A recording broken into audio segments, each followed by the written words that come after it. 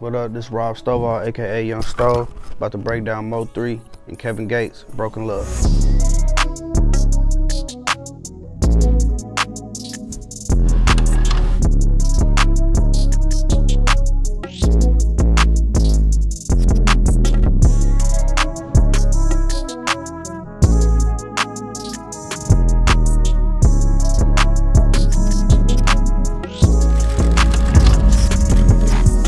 So how I met Mo 3, I was in Dallas 2017 and he went live on Facebook with one of his friends. And his friends was like, we cooking up steak or whatever, you know, pull up to this barbershop. He was like, all right, bet, save me a plate. So I had commented on the Facebook live and was like, hey, I'll trade a beat for a plate. The dude told me to pull up. The rest was really history.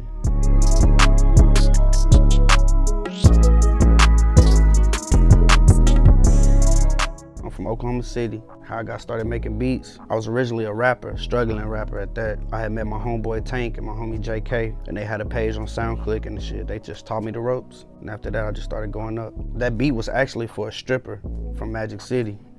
no cap. She told me she didn't want the beat. She was like, this, this ain't what I'm looking for. So I was like, hey, I'm gonna just send it to Mo 3. Yeah, he hopped on that. Crazy. I wouldn't be sitting here in front of you if it wasn't for 3. Like shit, I'll still be at my grandma's house, working in call centers and shit.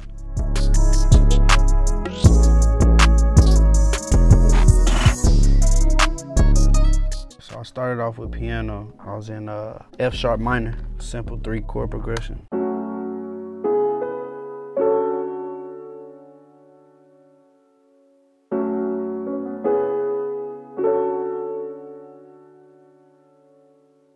Put some voicing over it.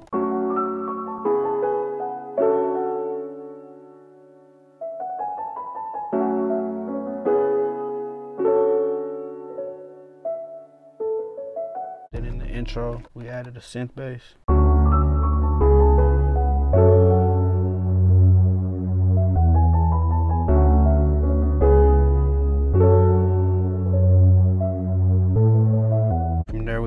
To uh, a little voice from Arcade to go on top of that.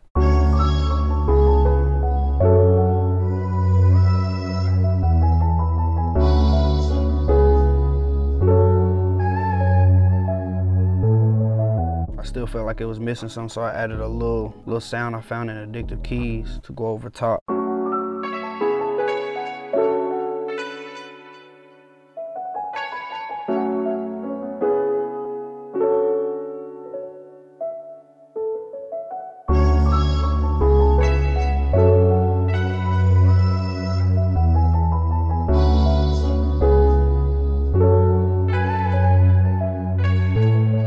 I felt like it didn't need too much into the beat. The way Mo 3 is, his voice is like an instrument itself. So I knew how he was gonna come on, he was gonna add some fire ad libs, and he was gonna sing on it. So I didn't want to do too much. I knew this was just enough. Voicing was almost like an extra instrument, like with the piano. So, you know, we didn't have to go too crazy with this. We, we just kept it right in pocket, real simple, and it was vibey and catchy. Okay, we added a little simple, little simple open hat with a with a hi-hat.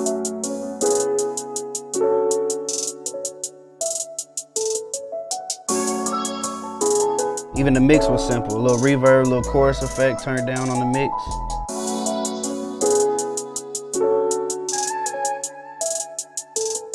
After that, we added a snare.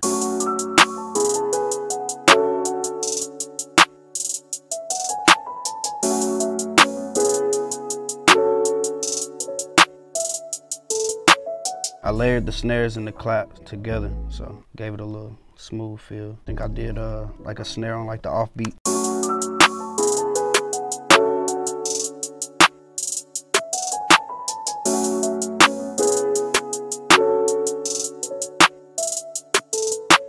I widened one of the claps though, just to kind of like fill it up a little bit. Then after that, got the bass going in.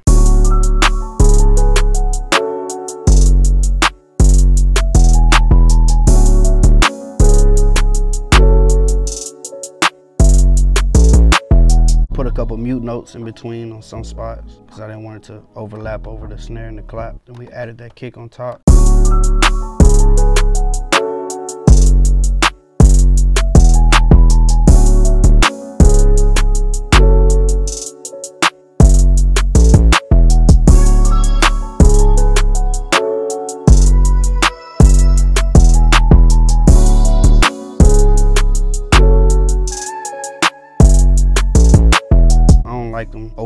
With the snares. Like I feel like it feels weird when you try to put something on top of each other, like it just floods it. So you gotta create that space, you feel me? Had to put that reverse open hi-hat in between verses and hooks.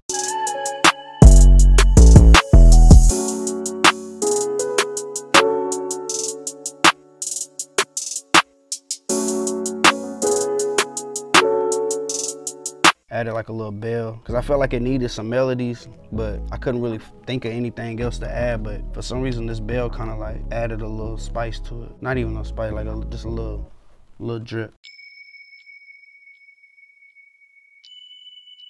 It was really me being lazy, but it worked. But I knew like once I added the piano, it didn't need too much.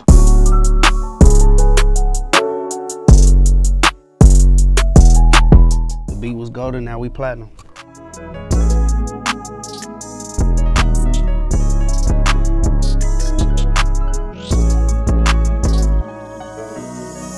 Three tips I would give to upcoming producers. Be adamant about your work. Travel, move around because nobody's gonna just call you or hit you up on Instagram and say, oh yeah, I got a placement, I got an opportunity for you. You gotta get in front of these people's faces. And three, don't quit. That's cliche, but at the end of the day, like it's the truth. Like shoot, especially with producers, we make so many beats a day or a week or a month. You feel like you about to quit or you wanna quit. Man, if you just take the opportunity to work, you know what I'm saying, and go out here and get in front of these people's faces, man, press play for somebody, it's gonna it's gonna work out for you. You know what I'm saying? Everybody gets one shot for sure. So if it ain't came to you yeah, it's gonna it's gonna come. It's on the way. Just keep grinding.